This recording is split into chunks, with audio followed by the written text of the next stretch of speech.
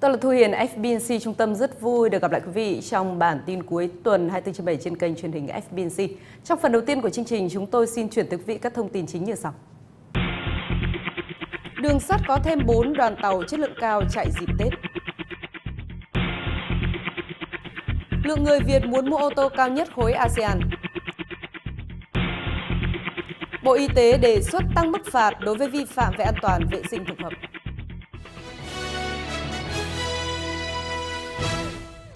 Thực vị trước bức xúc của nhiều người dân và lái xe về tình trạng trạm thu phí bùa vây sân bay thì mới đây Tổng công ty Cảng hàng không Việt Nam ACV cho hay đơn vị này sẽ tiến hành ra soát điều chỉnh mức giá dịch vụ.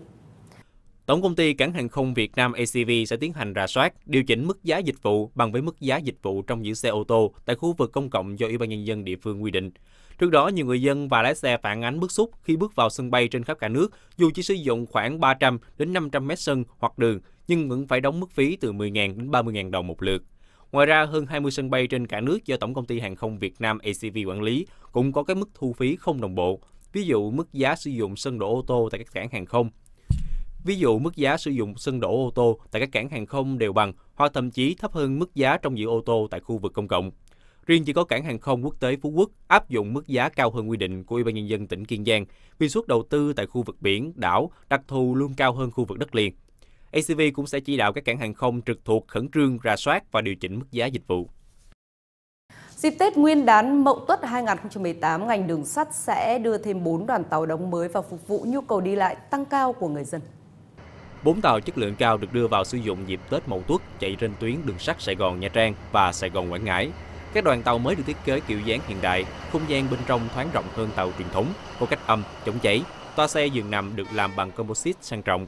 Dịp Tết Mậu Tuất, ngành đường sắt sẽ tổ chức chạy 15 đôi tàu khách thống nhất mỗi ngày trên tuyến Bắc Nam, cùng 25 đôi tàu chạy trên tuyến đường ngắn như Đà Nẵng, Sài Gòn, Thanh Hóa, Sài Gòn, Hà Nội, Vinh. Dự kiến từ ngày 15 tháng 10 tới, ngành đường sắt sẽ bắt đầu bán vé tàu Tết cho tập thể và hành khách mua vé trên website và tại các nhà ga.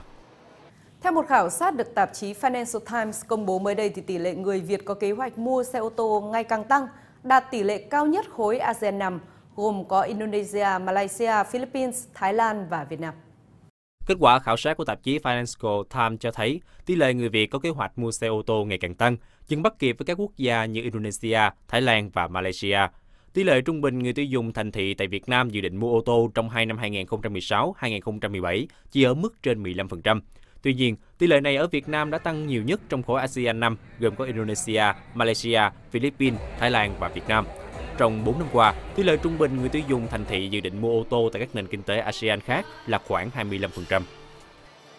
Trong một cuộc phỏng vấn với báo chí mới đây, thì ông Nguyễn Thanh Phong là Cục trưởng Cục An toàn Thực phẩm thuộc Bộ Y tế cho biết, Bộ đang kêu gọi các bộ ngành tăng cường công tác đảm bảo an toàn thực phẩm, đặc biệt là tăng mức xử phạt đối với các hành vi vi phạm. Bộ Y tế đang đề nghị các bộ có liên quan tăng cường nguồn lực cho hậu kiểm, đặc biệt Bộ cũng kiến nghị sửa Nghị định 178 về xử phạt trong lĩnh vực an toàn thực phẩm, phải tăng mức phạt, thậm chí rút giấy phép và xử lý hình sự các vi phạm về an toàn thực phẩm. Hiện Bộ Y tế cũng đang góp ý sửa Nghị định 38 hướng dẫn chi tiết thực hiện luật an toàn thực phẩm. Theo thống kê của Ban An toàn thực phẩm Thành phố Hồ Chí Minh, trong 9 tháng đầu năm 2017, các ban ngành Thành phố Hồ Chí Minh đã thực hiện thanh kiểm tra gần 31.500 đơn vị và cá nhân trong sản xuất và cung cấp dịch vụ về an toàn thực phẩm, trong đó phát hiện 9.420 trường hợp vi phạm, chiếm gần 30%.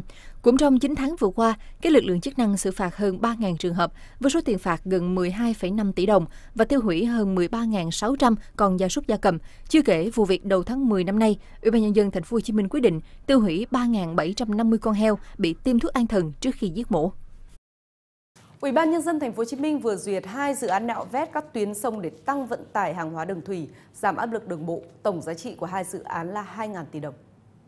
Thành phố Hồ Chí Minh vừa duyệt đầu tư dự án nạo vét hai tuyến rạch Môn Sông Kinh và rạch Bà Đa, rạch Giáng, quận 9 và xây dựng cầu cây me trên đường Long Thuận. Cầu đình trên đường Long Thuận nối dài theo hình thức đối tác công tư hợp đồng BT, tức là xây dựng và chuyển giao. Dự án này có tổng mức đầu tư khoảng 868 tỷ đồng, thời gian thực hiện từ năm 2017 đến năm 2019. Dự án thứ hai là nạo vét tuyến sông Tắc, quận 9 và xây dựng mới cầu Trường Phước thay thế cầu cũ trên đường Long Thuận theo hình thức đối tác công tư hợp đồng BT với tổng vốn đầu tư khoảng 1.174 tỷ đồng, thực hiện từ năm 2017 đến năm 2019. Hai dự án được kỳ vọng góp phần hoàn chỉnh hệ thống giao thông của thành phố, kết nối mạng lưới giao thông trên đường thủy, phục vụ vận tải hàng hóa, giảm áp lực trong hệ thống giao thông trên đường bộ đang quá tải. Trong chuyên mục con số mỗi ngày hôm nay thì chúng tôi muốn nói đến con số 3 tỷ đô la Mỹ. Đây là lượng ngoại hối mà ngân hàng nhà nước vừa mua chỉ trong vòng 3 tháng qua. Con số này được Tổng Bí thư Nguyễn Phú Trọng đưa ra tại hội nghị lần 6 Ban chấp hành Trung ương Đảng khóa 12. Với lượng ngoại hối mới mua vào này thì dự trữ ngoại hối của Việt Nam đang ở mức 45 tỷ đô la Mỹ, tăng thêm 6 tỷ đô la so với cuối năm ngoái. Đây là mức dự trữ ngoại hối lớn nhất của Việt Nam được công bố từ trước đến nay.